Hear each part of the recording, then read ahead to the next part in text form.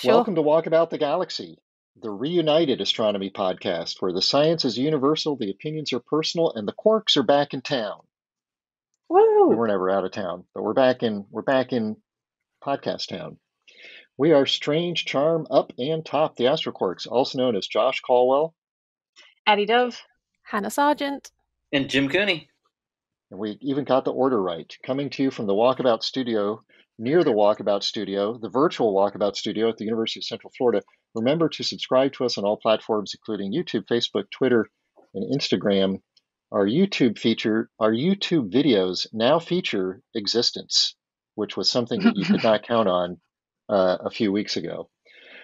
Follow the Astroquarks on TikTok, where we once published a video. We are also at www.walkaboutthegalaxy.com, where you can see how to order a walkabout shirt like this and support STEM education at the same time. You can contact us also at wtg at ucf.edu and do contact us that way if you order a shirt so we can get it to you as soon as possible. Our stumper today is, Jim, for you, Bad Guile. All right. All right. ready for it? I'm ready for it. Yeah. Okay. Who is the best bad guy? The Borg Queen. It's multiple choice. The Borg Queen. This is going to be tough for Hannah. Thanos. Thanos, Emperor Palpatine, or Lord Voldemort. So you have four major genre franchises, arch villains the Borg Queen, Thanos, Emperor Palpatine, or Voldemort. Uh, let's start with you, Jim, to welcome you back from your hiatus. Uh, this is this could be the whole podcast. I have some very strong feelings on this. Uh, Oh, good. so, first of It's been all all, pent up. uh, if any of you says the Borg Queen, I will slap you virtually across the face. She is the worst. Why? Because you're sexist? No, no, no. I love a good evil villainess, but uh, that ruined the Borg. That was that was the whole idea of the Borg. The scary part about the Borg was that there was no personality. They were all just a collective, and it was terrifying. And then they introduced the Borg Queen, and that ruined everything. I, I hated that Oh. with a fiery passion because I thought the Borg was such a great villain species in Star Trek. It was, I mean, you know, we working for years with decentralized. Klingons, the Cardassians. It was just like it was so terrifying. They were, it was so well done, and then they absolutely ruined it by you got to have a bad person, so they made a bad Mhm. person and whatever. I mean, it was played well, and you know, whatever. But uh, I hated that. The correct answer is Thanos, uh, because Thanos wasn't entirely a bad guy. You know, it's like uh, I like these kind of kind of uh, he's bad, but he kind of had the right idea. There's too many people in the world, and uh, I don't really want to kill half the world or anything like that. But uh, he had kind of decent motivations, at least at the beginning, and uh, I like a good conflicted villain. So Thanos is the right answer. Oh, interesting. Okay. I'll hold my thoughts on that. Uh, Addie, what do you think? I'm giving Hannah Well, as much time as possible for her to. She's she's furiously googling who all these people are over there. Who? Now I want to say the Borg Queen just to make Jim angry. Um, I but I don't think it is the Borg Queen. Um, who, I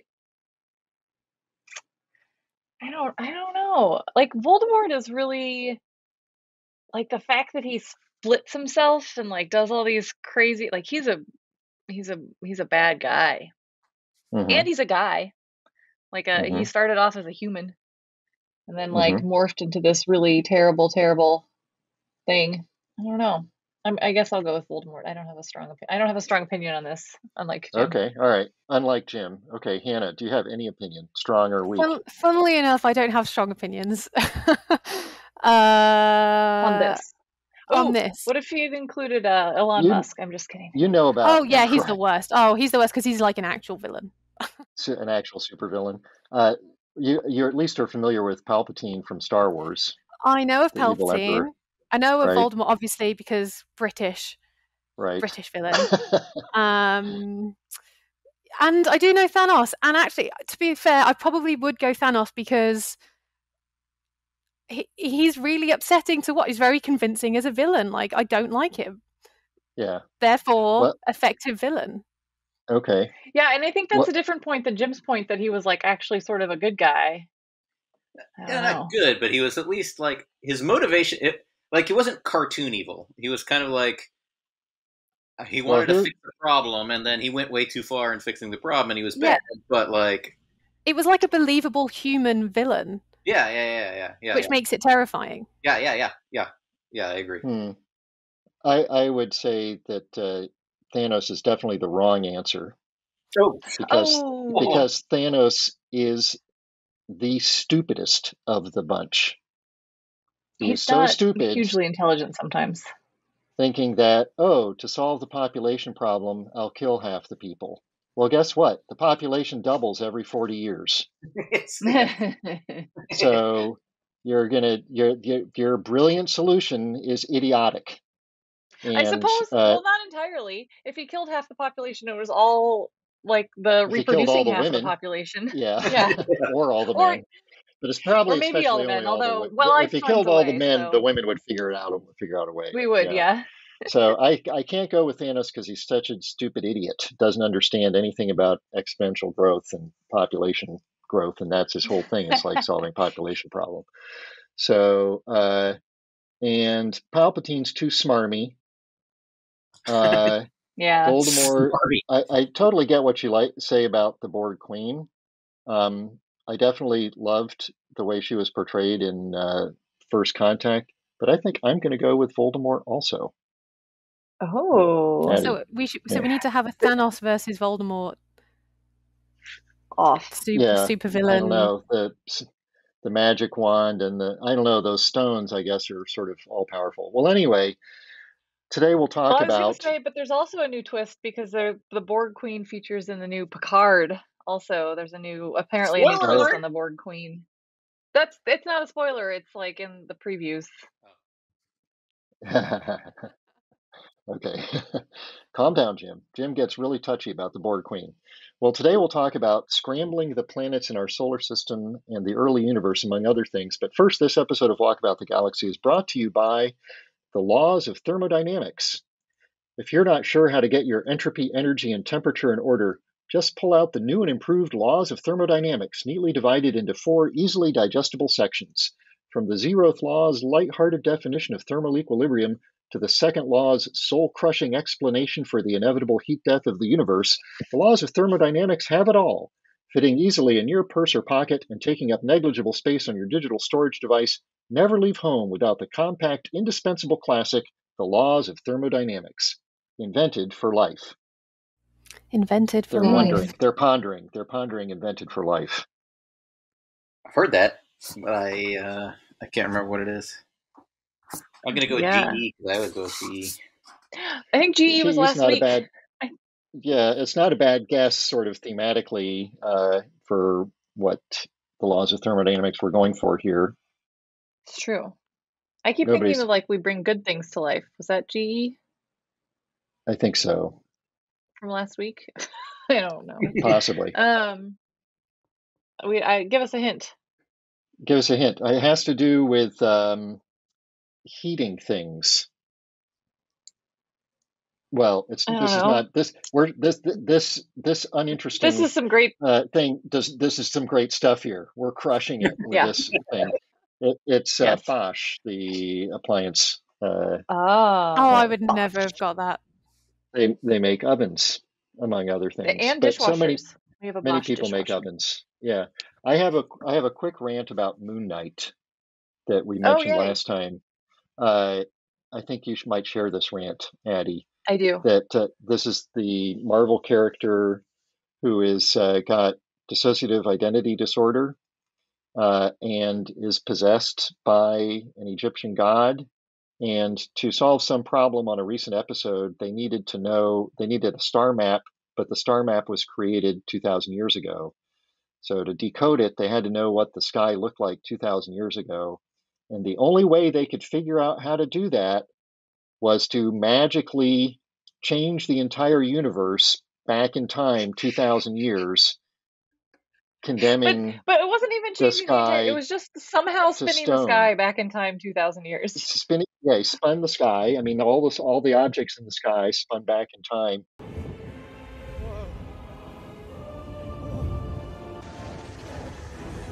instead of doing what addie Just using a planetarium software that lets you go back 2,000 years. just Stellarium? any Yeah. yeah. yeah exactly any free frickin' planetarium Yeah. software or for a nice one you can pay 49.95 and dial it up on your laptop and type in any date you want And like they have you this can fancy imagine like and you'll instantly see the whole sky Yeah, and they have this like fancy triangulation software they're using on an iPad or whatever. And so like right you could have had this software also. yeah yeah that, that was that was absurd And then the consequences would not be so dire. that's right yeah anyway i just had to I had to air my grievance about that um, space Somebody needs a science uh, advisor. we had the private uh, crew come back from the international space station after some weather related delays and then the professional crew go up to the space station right Yay. Yeah. Crew 4 and launched. right on a spacex crew dragon and Mhm. they're there I'm actually uh, like, I haven't on. been paying attention. Are there still uh, Americans and Russians aboard the International Space Station that are getting There are. along? There are. And I'm and I'm completely losing track of all the launches now. It just doesn't because it's not.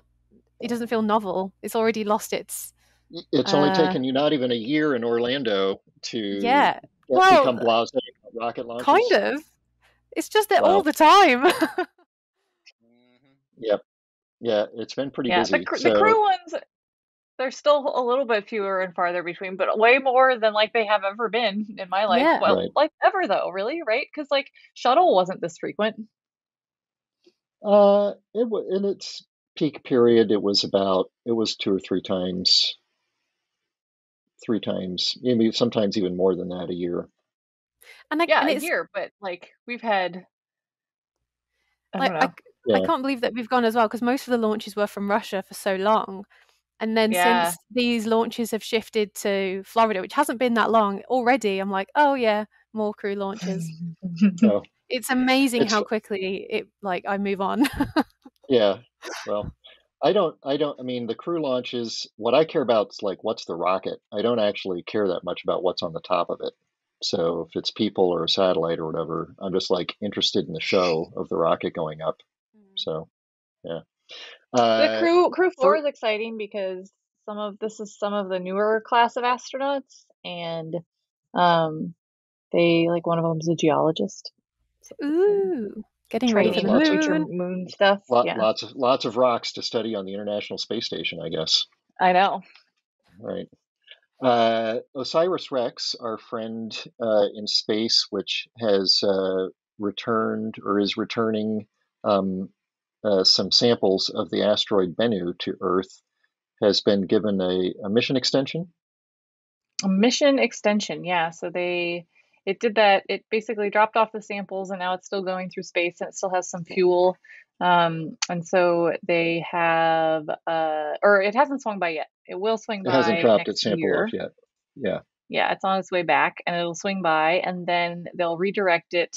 Um, and they're calling the extended mission instead of Osiris Rex, they're calling it Osiris Apex, but like Osiris Rex was a full Acronym. acronym, so I'm confused about how they're changing it. I haven't seen what the I haven't seen The what the full new acronym is, but yeah, but it's they're going to um, Apophis is the asteroid they're now going to try to check out, which is uh, uh, an infamous asteroid that um, has been looked at a long time for a close I was gonna approach. So it has Kill a, us all.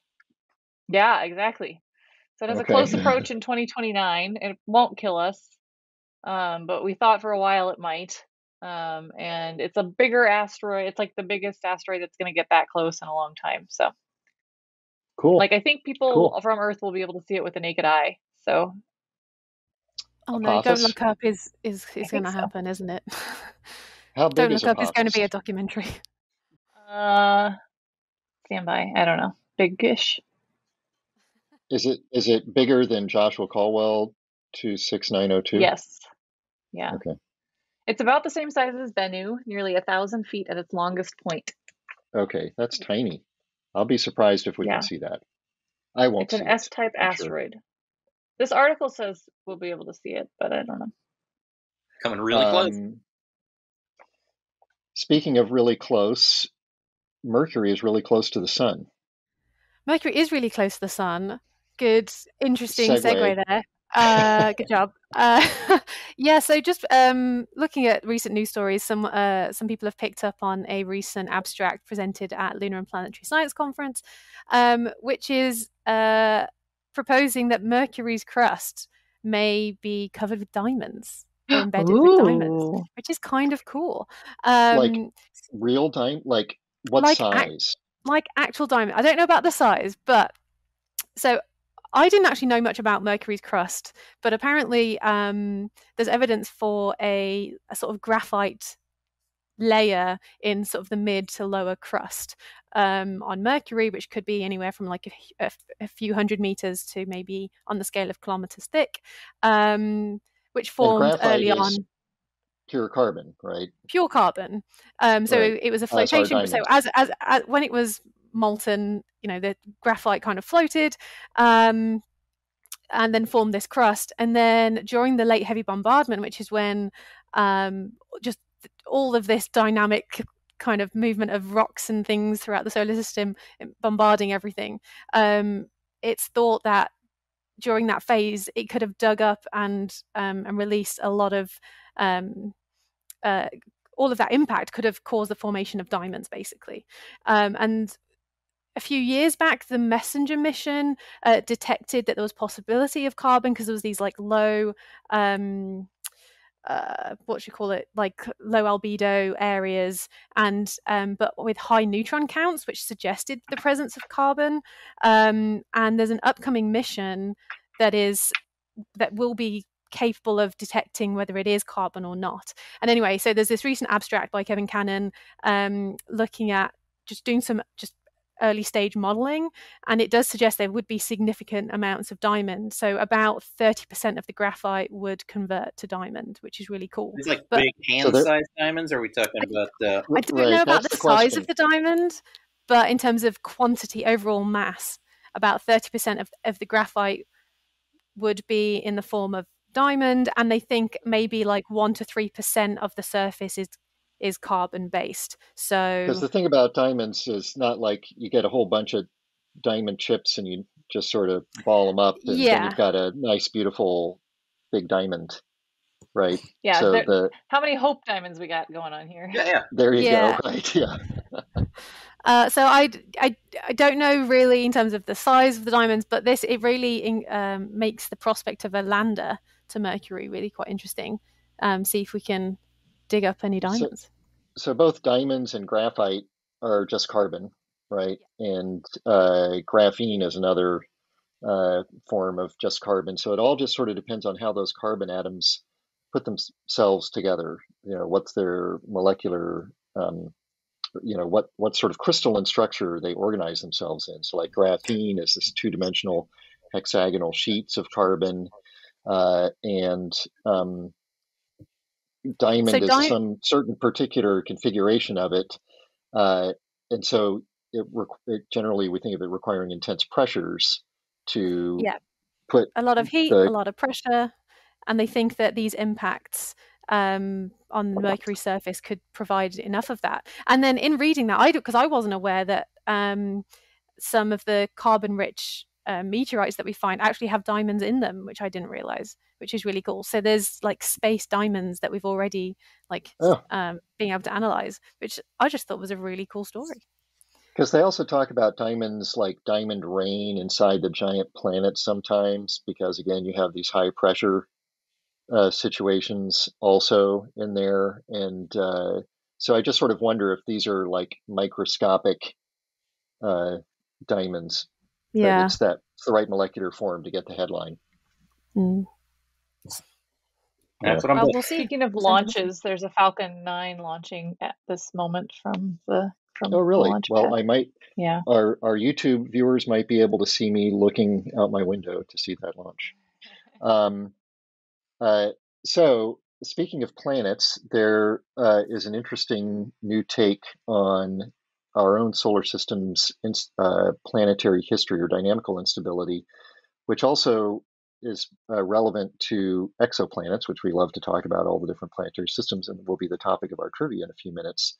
Um, we've talked before about this sort of like giant planetary dynamical instability hypothesized to have taken place in our solar system like 500 million years, give or take, after the planets formed, where the planets all shuffled around. In fact, last time we were talking about Uranus, it may have not been the seventh planet when the solar system formed. Maybe it was the eighth, and Uranus, uh, Neptune was the seventh, and they swapped places in one of these instabilities. And uh, this new paper says, well, what is it exactly that triggers that instability? Because basically, you need planets to move into resonances or cross resonances so that the orbits become very egg shaped and cross each other's orbits so that then they have really close gravitational encounters and they go all over the place when that happens and so then they're having close gravitational encounters with all the little stuff the comets and the asteroids and they go all over the place and smack into all the moons and make uh, new craters and all sorts of things that, that we can observe now. And uh, so this this model uh, has something called a, a rebound uh, where in the early solar system there you have planets forming and there's gas in this disk around the sun. And the planets have a gravitational interaction with that gas that generally leads to them drifting inwards towards the sun. Eventually at some point the sun evaporates that gas away and it does that from the inside out.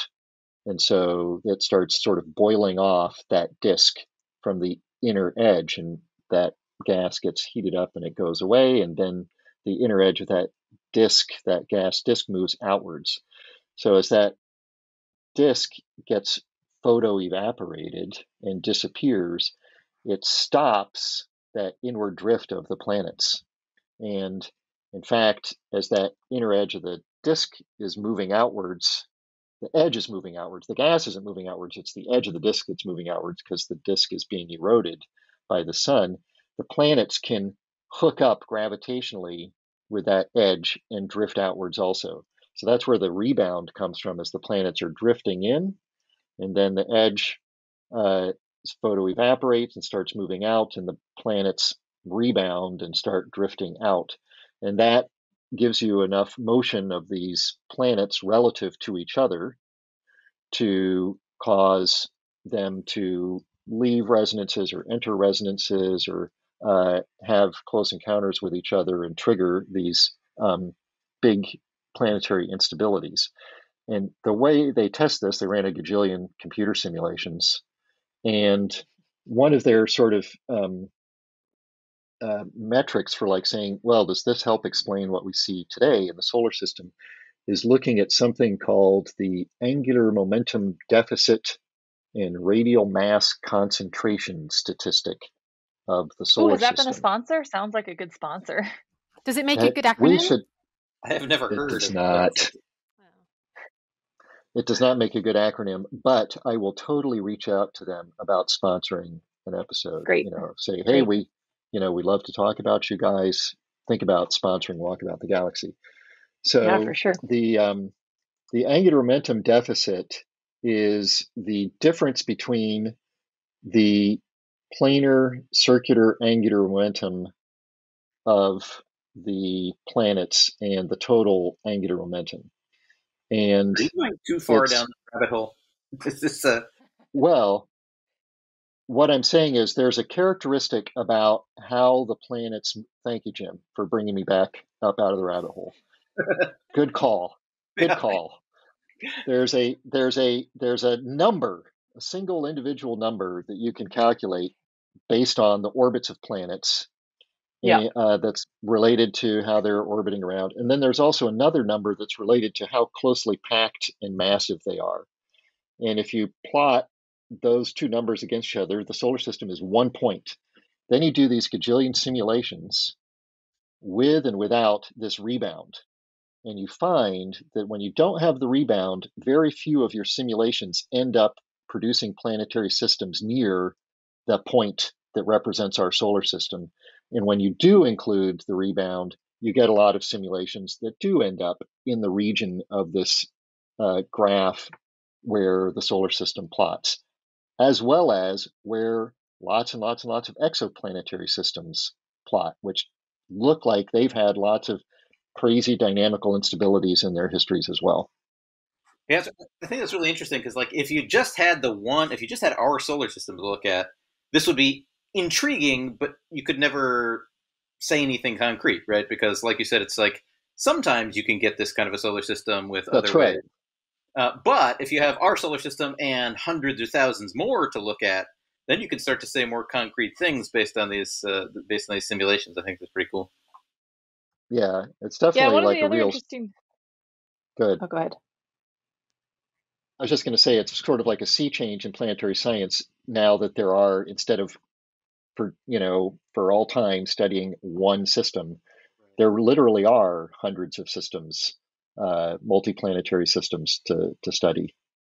By the way, can I say Yeah, for a long time- This. Oh, I'm sorry. Go ahead, Eddie. Oh, I'll say my side afterwards. I was just say for a long time the models along those lines, right? For a long time people were just like trying to figure out how to mod- make models that would match our solar system, and we had like very specific parameters to like get sort of distribution of mass that we have, and it was like hard to do sometimes even then. And then um, people started coming up with like, okay, well, but how do we explain like the late heavy bombardment on the moon, right? So this idea that there was like all these impacts sort of late in the history of this of the sol- late-ish in the history of the solar system, and that required this upheaval.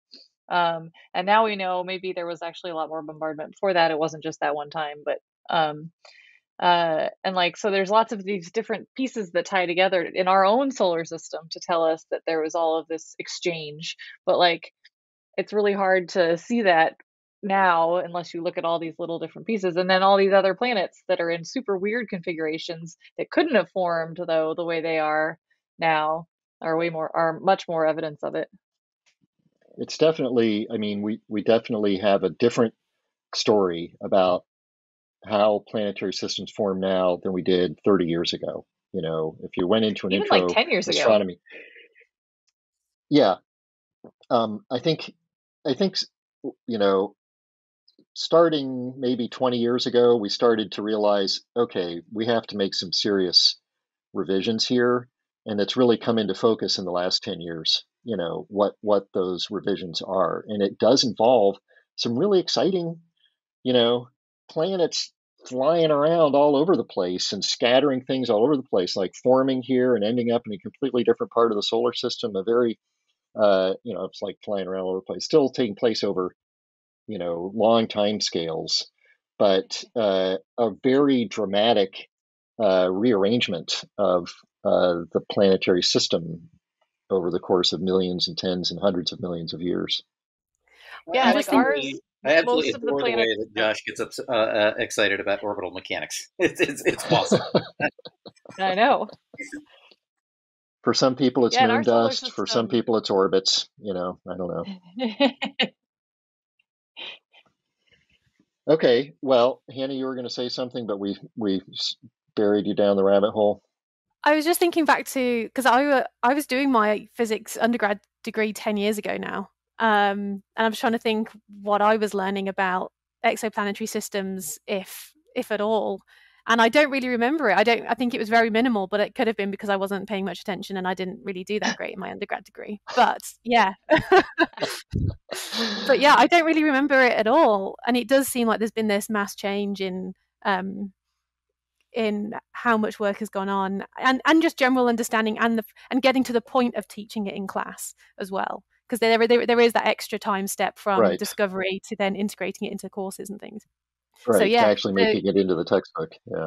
yeah i think it's it must be only the very recent courses where this is common knowledge now Well, our trivia has to do with these exoplanetary systems. So uh, you will be shocked to know that there are multiple parts to this, but it's a sort of general exoplanetary knowledge trivia. So here are your questions about planets around other stars, exoplanets.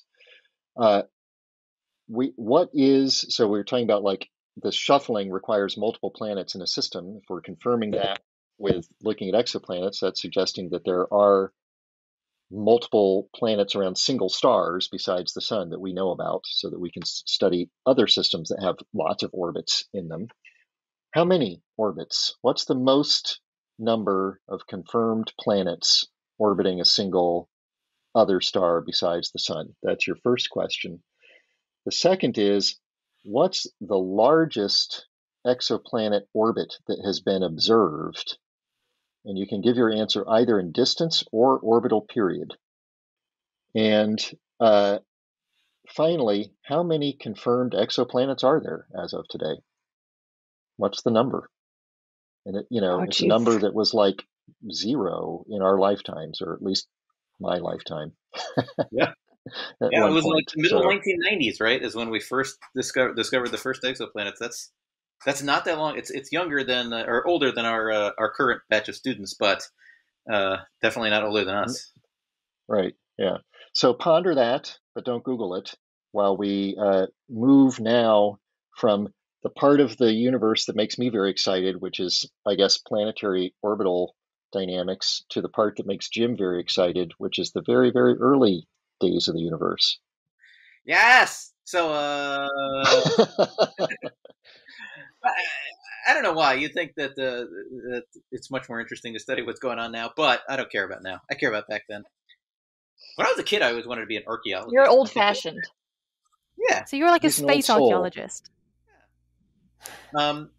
So uh, th- this uh, th- this isn't really a new result about anything we've uh, learned about the early universe, but uh, it's kind of the dawn of a new technique of learn trying to learn about the early universe. So uh, one of the things we're getting very, very good at in astronomy is doing these kind of all sky maps uh, at various wavelengths.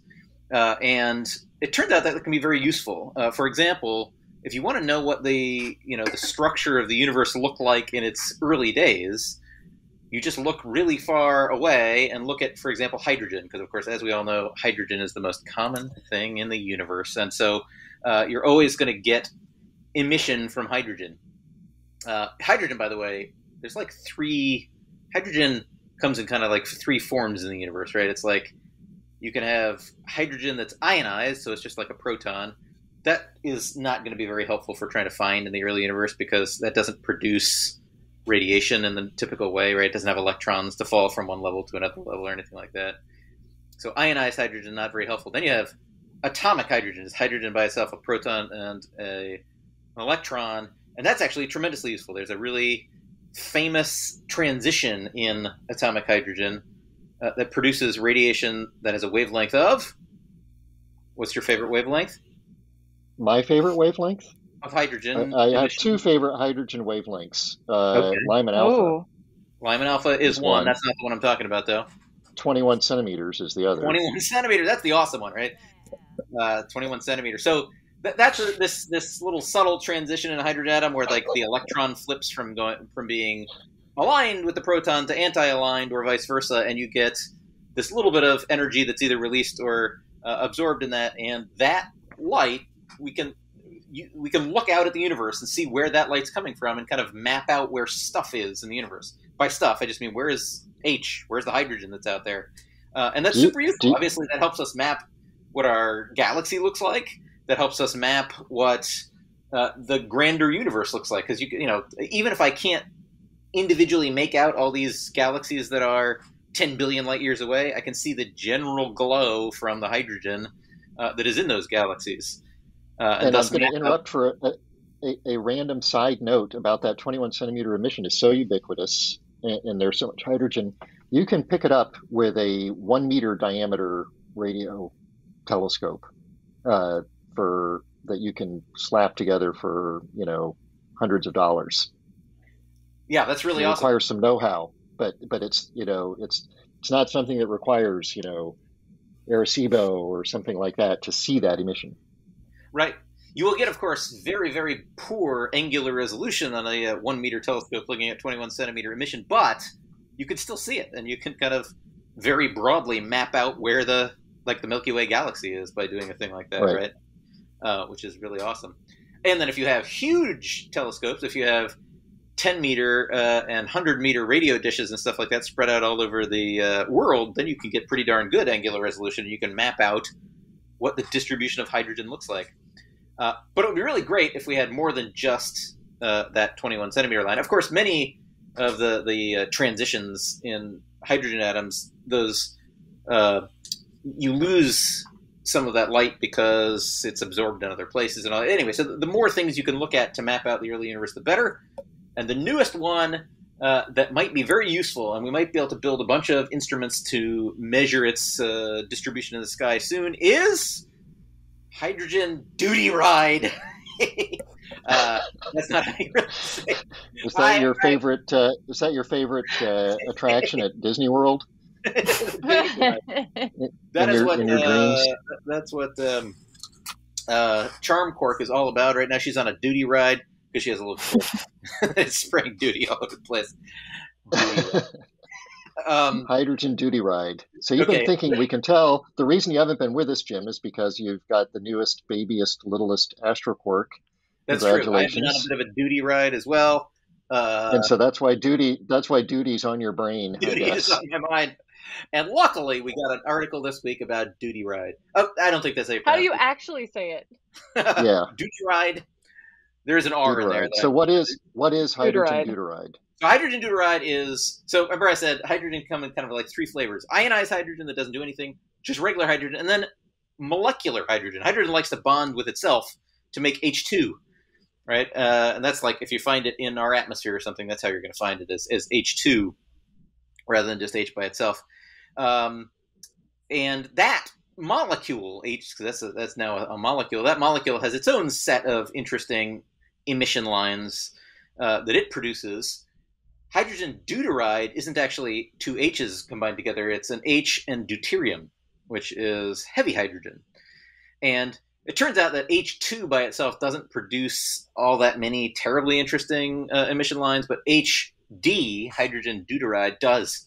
Uh, because of the slight difference in mass between the, you know, or the, not slight, but, you know, the difference in mass between the hydrogen and the deuterium, it, has some funny electronic properties that cause it to have some fun. Um, the deuterium is uh, is r- roughly twice as massive as the, uh, the, as the hydrogen atom, right. and um, so is it? But it's not. Is it electronic transitions or is it molecular or vibrational? It's a rotational. It's a rotational thing. So I mean, the the, the electrons right, prefer. Yeah. And now I'm going to forget which one is which, but the the electrons pack a little bit more tightly around one of them, the more massive one, I think, than the other one. Maybe it's the other way around, uh, and that causes a little bit of a uh, an electric dipole moment, which when you rotate it produces uh, some energy. So it's a rotational mode thing. Uh, but anyway, I, I, can't even remember now what the uh, maybe maybe somebody can look up what the uh, free, wavelength of that is. But but why do we care about this frequency or this wavelength? Because then you can say you're mapping the sky in HD. Right, you're matching the you are oh. matching HD. No, but it That's helps. It helps you determine whether if you're only looking at one wavelength, maybe maybe I'm doing something systematically wrong. But if I'm looking at different things at different wavelengths, then maybe I know that I'm actually mapping structure in the early universe correctly, rather than it's being you know this particular wavelength is being absorbed more than other wavelengths, and I, am missing something, something like that. So, oh, so it's like a sanity okay. check. Yeah, yeah. The, the more wavelengths at which we can map the early universe, the better. And and hydrogen and- d- duty ride uh, is there's a lot of it in the early universe because the only place, the only way you make deuterium in the universe is at the very beginning, in the near the Big Bang, and and ever since then, it's becoming less and less and less and less common. And so it's more common in the early universe, and you see a lot of it, and we see those lines. I think it's a pretty cool, fun way to look map out the early. We haven't done it yet because we need to build up the kind of instrumentation to do it, but we're going to do it in the next couple decades. You watch. And, and the article also talks about how, um, like, like the process to to make the the fractionation ratios so so to look at the ratio of hd to h2 like the processes to make the relative amounts of those happen at different temperatures and under different conditions. So if you if you are mapping both of those things and you look at the fractions then it can tell you like maybe what the processes were that got you to that that point so you can tell a little bit like how things happen differently in different parts of the universe. Right, right. So we're, we're cool. using this to kind of explore this era when galaxies very the very first galaxies and the very first stars form, and that causes a huge you know output of light, which then kind of reionizes. The, and this early era of the universe is hard to to study, and this is a cool way to do it. Well, deuterium is definitely you know you mentioned it's this got this primordial nature to it, and it's and that's exploited in planetary science as well. So one of the key measurements that's made in planetary atmospheres measurements is the D to H ratio, the ratio mm-hmm. of deuterium to hydrogen, uh, which uh, can be diagnostic of how that object formed, how that atmosphere formed. Uh, because, as you said, it, that that quantity goes back uh, to uh, the original amount of deuterium available was set very early and then, uh, what is the loss process for deuterium? Why, why, where is it going away? Why is it going down? Well, it, it's it's fused in stars. So deuterium is a is a fuel in stars, and so you turn deuterium. You, you don't make deuterium uh, very efficiently in stars, but you fuse it to make heavier things. Uh, and okay. so it's kind of the, the total amount of deuterium is monotonically increasing largely because of stellar fusion. Decreasing. Yeah, decreasing. decreasing. Yeah, yeah, yeah, yeah, yeah. Cool. Okay. All right. Well, are you ready to uh, take a stab at the, your barrage of exoplanet trivia question? Let's actually start with the first, with the last one. How many confirmed exoplanets are there? And we're going to start with Upquark, Hannah Sargeant. I know they t- they announce it, and then I I read it, and then I forget.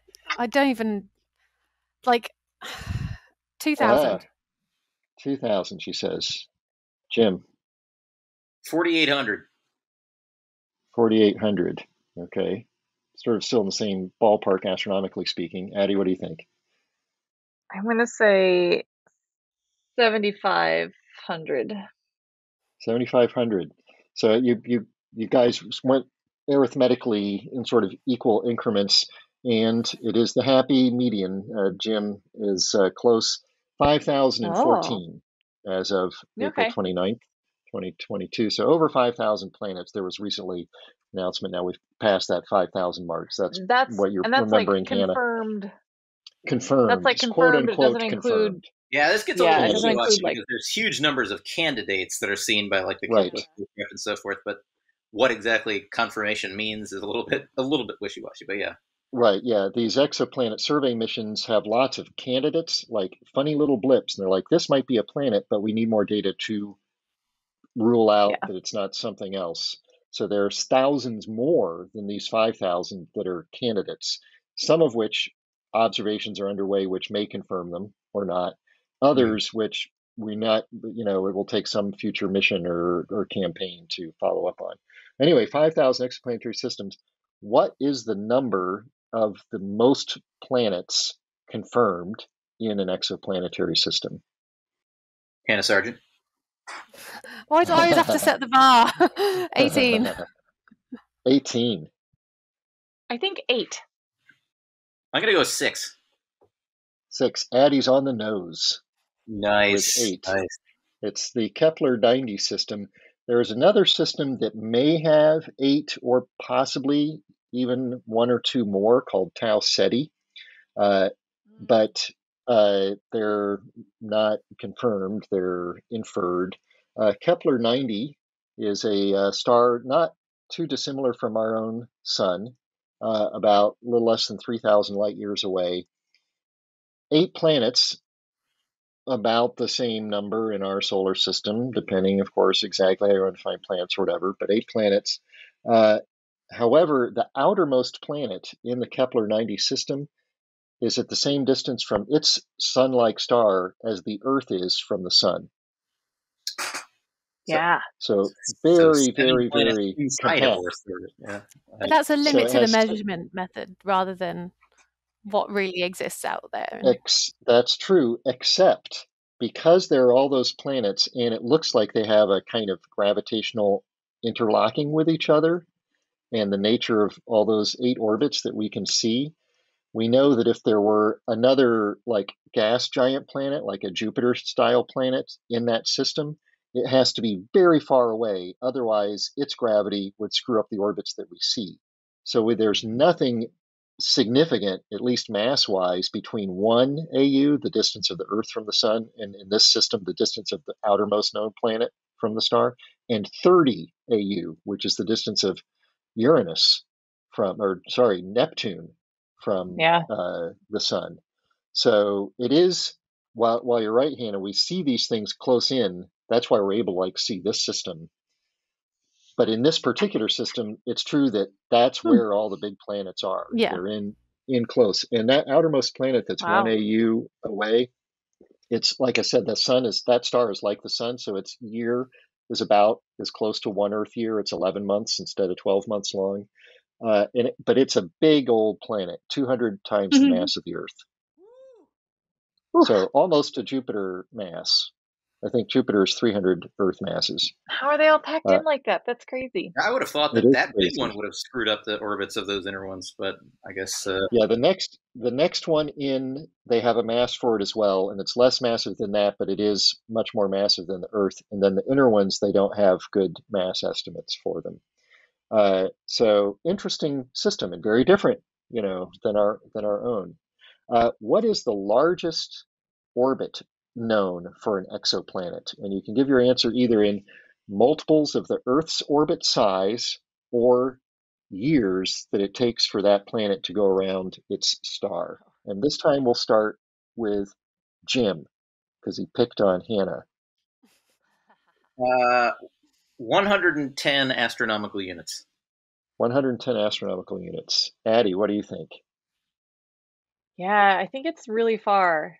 I'm gonna say like 250 AU. Okay. And reminder AU is the distance of the Earth from the sun. Okay, I'm gonna go Hannah, ahead. 200 AU. You're going in the Oh. middle because that worked for Jim last time. No, I, actually, I was gonna. I was actually gonna say 200 AU. Okay, well you can say 200 AU. Uh, I I guess Addie wins this, but it's kind of a three-way tie for for Lost because the answer is 7,500 AU, Whoa. What? and the planet takes 1.1 million years to orbit That its count. sun. This is a planet that we have seen telescopically. Oh yeah. What is the name Uh, of this it's, thing? I'm going to tell you right now, it has an adorable name. The name is Coconuts to Be. Coconuts to Be. But I like to say Coconuts to Be. So Uh, hypothetically, we could have a planet orbiting that far away we- that we just haven't discovered. Absolutely. Absolutely. And in fact, Egotron is hypothesized to be such a planet. That's I'm the only person who calls it that. Um, but there's a hypothesized uh, object out there in the distant Kuiper belt. Um, But that's I not. don't actually think it's expected to be that far out. It's in the hundreds of AU, not the thousands. Yeah, that's what I was gonna say. It's in hundreds, Yeah. not like so. Where is seven thousand AU in our solar system? Seventy five hundred AU in our solar system. Then you're in the s- sort of like transition to the inner Oort cloud Yeah, Do they region. so they have uh, an idea? I mean, th- that must be a highly eccentric orbit. Yes, I mean, Uh, I don't I don't know the I the don't know if we or know. how egg-shaped that orbit is, but that the object, that the planet, Coconuts 2b, is uh, six times the mass of Jupiter. So it's getting up to what we would stop stop calling a planet and start calling a brown dwarf.